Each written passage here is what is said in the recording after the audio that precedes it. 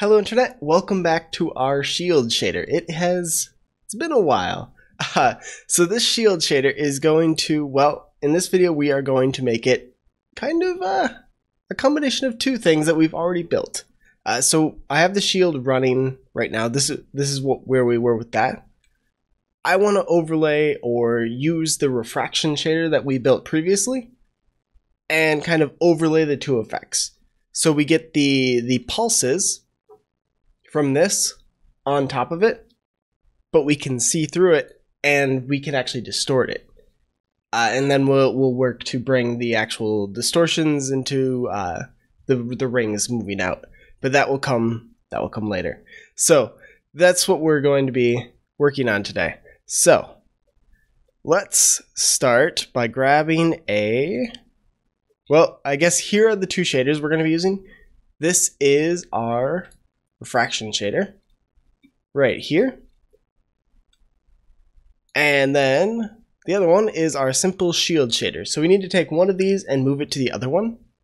I'm actually going to keep the simple shield shader and move everything here over to our refraction shader.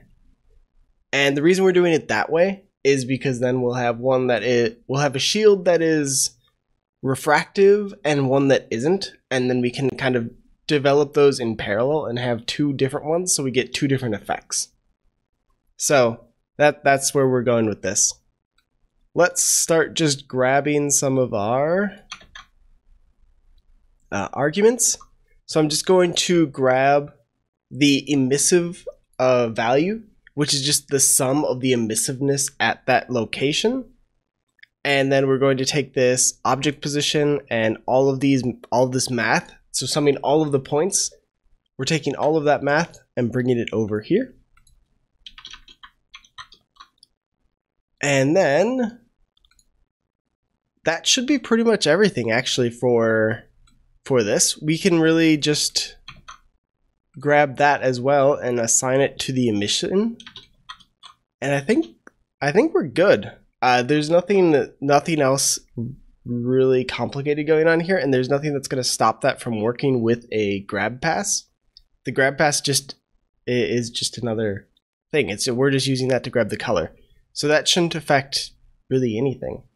Uh, so now that we have that, I'm going to need to actually grab some of these things. So we have the point size, the impact size, and all this other math stuff. So we're going to pull in all of these extra variables. Uh, don't need the color because that's already specified. We've got impact size, point color, point size, and points.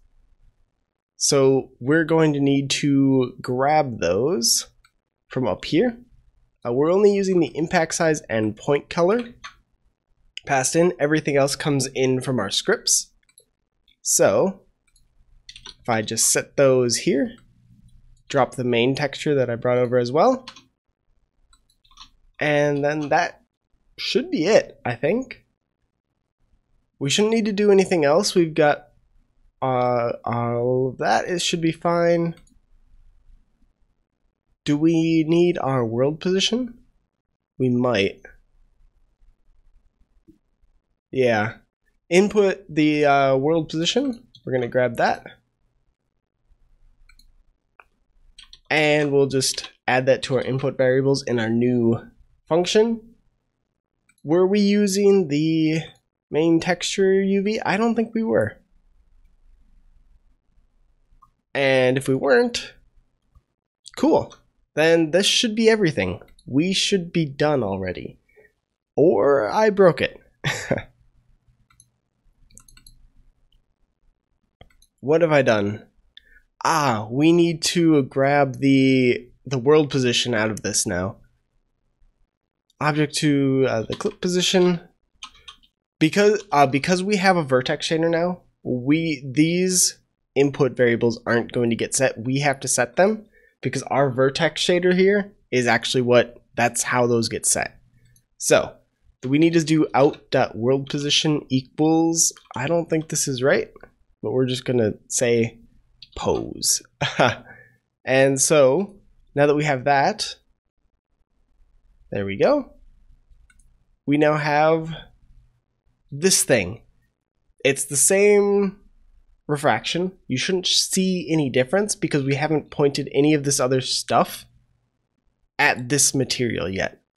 So if I start doing this, now we start seeing all those uh, explosions on the outside of it. One thing you will note, it doesn't draw it on the back uh, because it, even though it's a it's a sphere, it's a grab pass, so there's still only the front that is getting drawn, and because of that, you won't see these marks on the back, so you won't see it wrap around, and that's just going to be a limitation with using grab passes. If we use if we get rid of refraction and just use transparency, that doesn't that goes away. That's not an issue anymore and then we can we can turn off the the culling and it just works. Uh, but for this, it it isn't it isn't gonna work. So at least I don't I don't I can't think of a way to make it work. If you if you can let me know. But uh, yeah, this is this is I mean basic, but at the same time now we have explosions that are happening on this, which is neat, I guess. So there you go. Simple and I guess easy. But uh, that that's sort of the point here. So I'm going to I'm going to leave this here, I guess, because that that's really all all I wanted to do. I need to we need to come up with a way now where we can take uh, if I can just pause this when one of these explodes there's a center point where it explodes from and then it kind of grows out from that what we need to be able to do is calculate that point and then sort of grow it ourselves. Uh, and that's going to be hard. Uh, we need to be able to, to get a vector out of that so we can add a, a normal so that we can deform our uh, map. And so, so fit, once we figure that out, then we can start doing all the, the deformations and stuff. And then we should be good to get a, a more complicated shield. But this way, we at least get refractions. Uh, don't do this if you if you just want transparency. This isn't how you get that. Uh, it's a lot lot easier actually, but anyway, this is a simple, I guess, refractive uh, array-based sh shader. Uh, it, it's moving towards the shield thing, but we're still we're still not quite where I want to be. So we'll be working there soon. So that's it for this video. Uh, yeah, I will be picking up and doing a lot more. I have a lot of really fun fun plans for 2018. Uh, 2017 kind of ended with just me being sick and then it being less fun. But I'm I'm getting over it, even though you can kind of probably hear a little bit in my voice that I'm not quite over it yet. Uh, but yeah, once that's over, we are going to do some really cool stuff. I've got some cool projects, uh, some new ideas, and I think we're gonna we're gonna have some fun. So yeah, do you guys have suggestions for me or anything you think we should try? Let me know in the comments below. Otherwise, I will see you guys in the next video. So till then, see you internet.